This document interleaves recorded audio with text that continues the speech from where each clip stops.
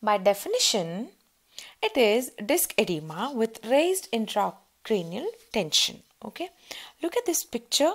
You see the diffuse edematous disc over here.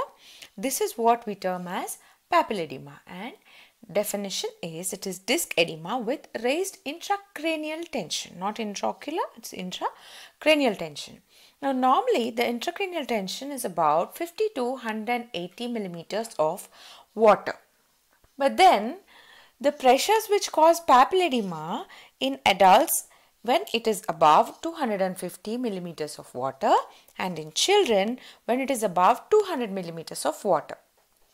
So 250 millimeters for adults and 200 millimeters for children, this causes papilledema.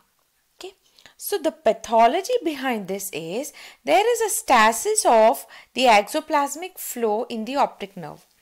There are two types of axoplasmic flows we know that is orthograde and retrograde. So, when there is a stasis in this orthograde type of axoplasmic flow, this results in papilledema. Now, what causes this stasis? The first and most common is intracranial space occupying lesions, mostly in the posterior fossa except the tumors in medulla. Okay. Those occupying the posterior fossa, they are the most common tumors causing papilledema. Now, an important fact over here that the more posterior the tumor, more is the papilledema. As you keep going posteriorly, uh, the tumor, the papilledema is more. Okay. The second most common cause is pseudotumor uh, cerebri. Okay, it's a pseudotumor cerebri and it is also known as idiopathic intracranial hypertension.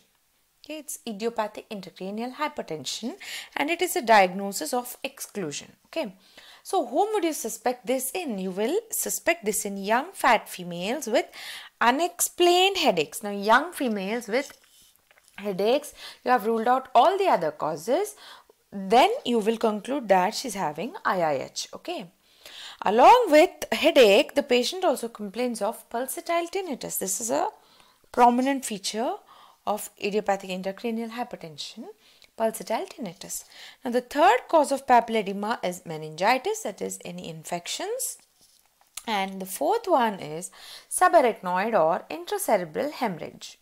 Now, a differentiating feature for this point is that there is a sudden papilledema because hemorrhage is always sudden and when there is sudden hemorrhage and sudden rise in intracranial pressure that will result in a acute onset papilledema. So the four causes of papilledema are intracranial space occupying lesions, intracranial hypertension idiopathic, then meningitis and hemorrhage that could be subarachnoid or intracranial intracerebral.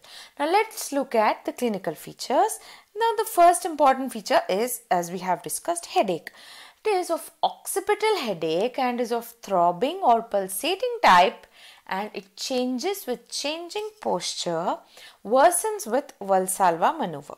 Okay. Occipital type of headache that is of throbbing nature or pulsating nature.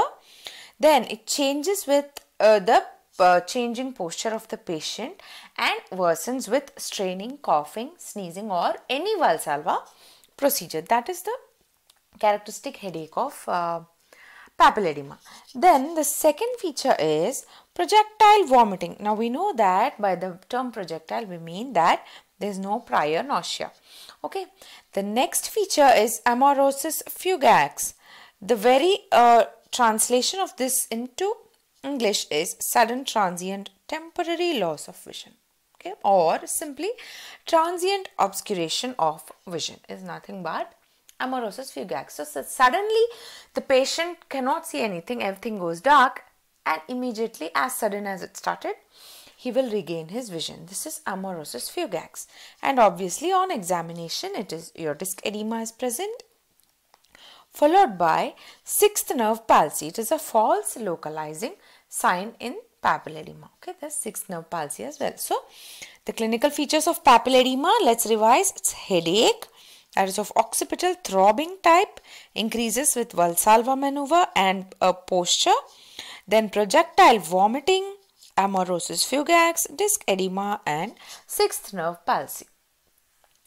Now, uh, we have earlier seen in our earlier neuro-ophthalmology session a condition called optic neuritis. It resembled papilledema very much. So, how will you differentiate papilledema from optic neuritis? Is that papilledema by rule is always bilateral. Okay. Except for a condition called Foster-Kennedy syndrome where it is unilateral. Okay.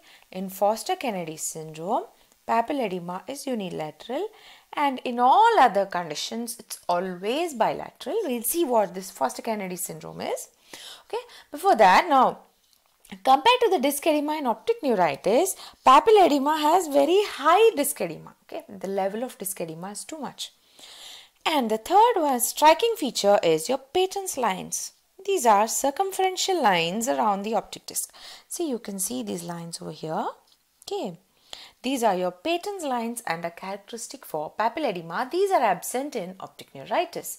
Then there's loss of venous pulsations along with enlargement of the blind spot in visual fields. This is how you will differentiate papilledema from optic neuritis. Okay. Now, let's see Foster-Kennedy syndrome. Just a few words about it.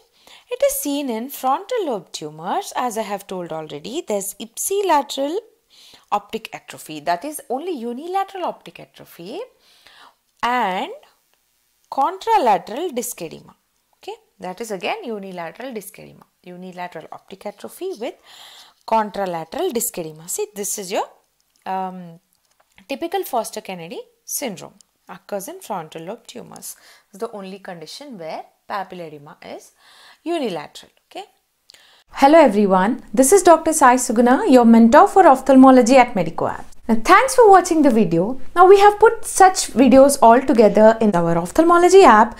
The trial version you can download from the link over here or in the description box below.